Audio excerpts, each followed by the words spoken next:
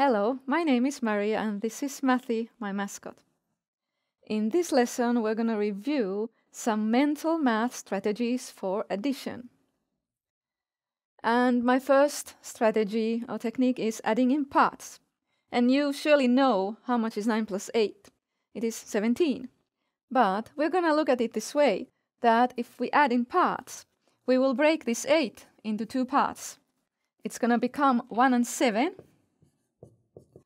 and then we add 9 and 1 first, these two first, making 10. And then we get 10 and 7, which is 17. You might remember this also being the ninth trick from second grade and first grade, where 9 wants to be 10, so it takes 1 from the 8. And so 9 and 1 then makes 10, and then 8 is left just 7. 30 plus 17.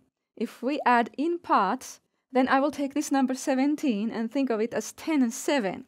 So I will add 30 and 10 first, and lastly the 7.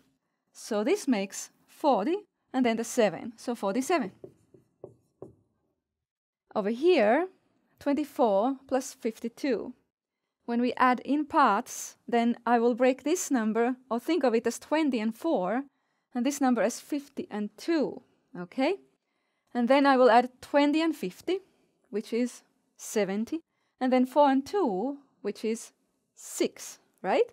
So I get 76. So the thinking is thinking of it as 20 and 4 and 50 and 2, and then adding 20 and 50, and then 4 and 2. Let's try the same here.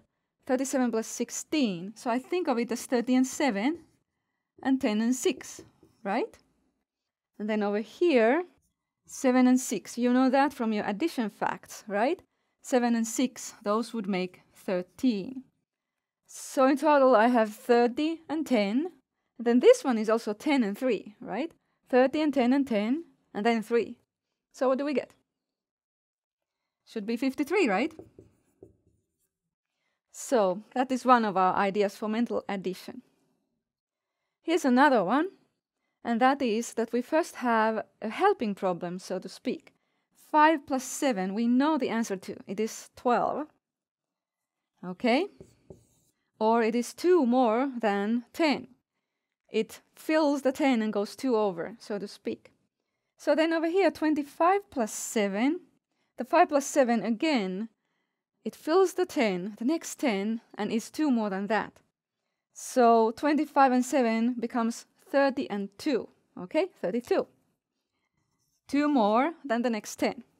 And this one also becomes two more than the next 10. So it becomes 62, right? Can you see that? 50 plus 70, okay. 5 and 7 makes 12, so how about 50 and 70? It's 5 tens and 7 tens.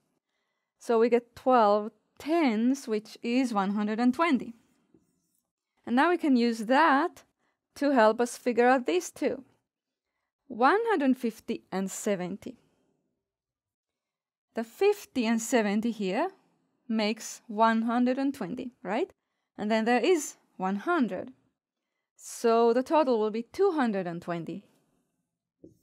Or you can think of it, like I explained here, that since this sum goes 20 over the next 100, this one too goes 20 over the next 100. And this one too. The answer is 720. Notice they all end in 20. Okay, now you try these two problems on your own. You can add in parts, okay?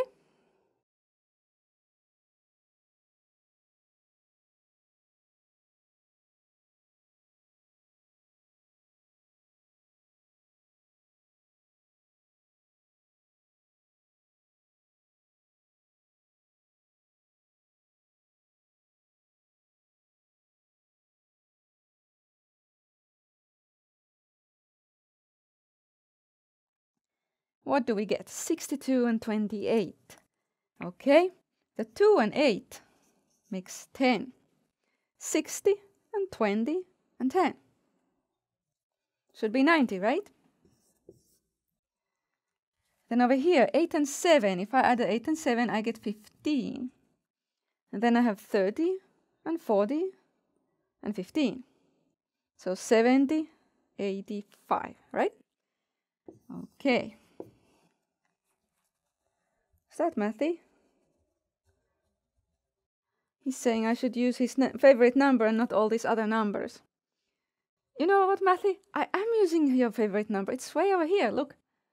Way over here. 99. We do have it coming. Okay? Okay.